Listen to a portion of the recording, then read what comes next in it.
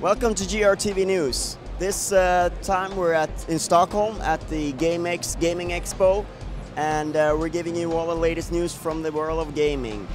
Last week, Kinect launched, uh, world premiere in North America.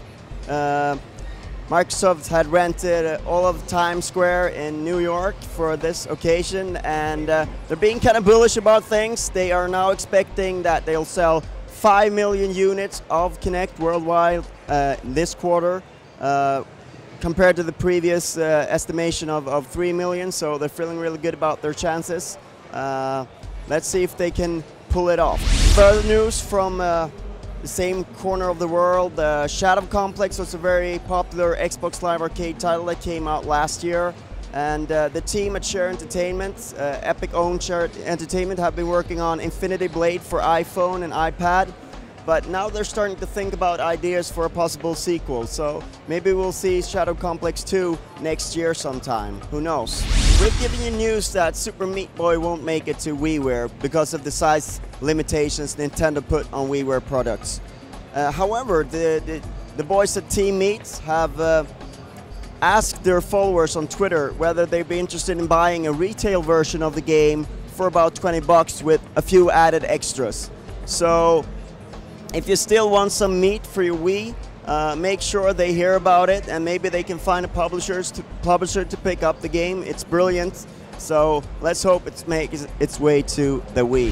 Activision have revealed in their latest financial report that uh, they've got a new X-Men game coming next year. No details on the title have been made available, but they also confirmed the new Guitar Hero, a new DJ Hero, and a new Transformers game due out next year. The Transformers game is, is probably based on the next movie in the blockbuster movie saga.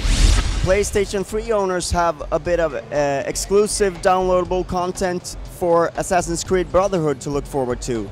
Uh, Copernicus Conspiracy is a selection of missions that Xbox 360 and PC owners won't get to play. So the, the, the DLC will be out on launch day and it will be free. So that's a little bit of a bonus for PS3 players uh, to get to play around with.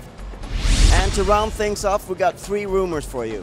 The first rumor is that Canadian studio Sixlant Games, perhaps best known for SOCOM Confrontation, are working with Capcom to create a team-based Resident Evil game on PlayStation 3 and Xbox 360.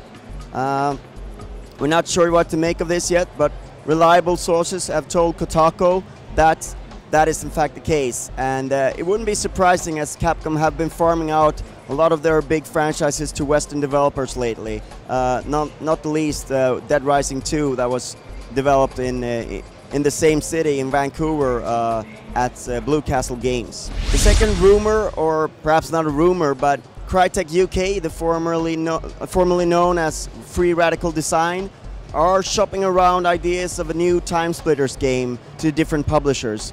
Uh, they're not quite sure if they want to make a, a, a, classic Time Splitters title, if they want to make a completely new original IP, or if they want to reinvent Time Splitters.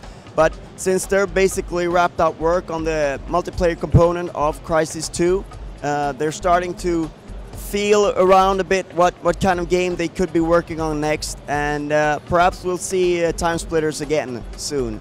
Rumors are circling that Microsoft have been looking around for a new developer to take over the Project Gotham Racing series uh, that Bizarre Creations, now owned by Activision, used to used to make. Uh, it, it, was presumed that the, the Forza developers Turn 10 would, would get their turn to do uh, Project Gotham Racing, but apparently as Microsoft have been talking to independent developers, it doesn't look that way and, and, and we're likely to see someone else do the next Project Gotham Racing. Who it is, no idea. When it will be out, no idea, but at least Microsoft are looking into the, to the issue and, and fans of the series are likely to see something happening, developing in the future. That's it from GRTV News this week. See you later.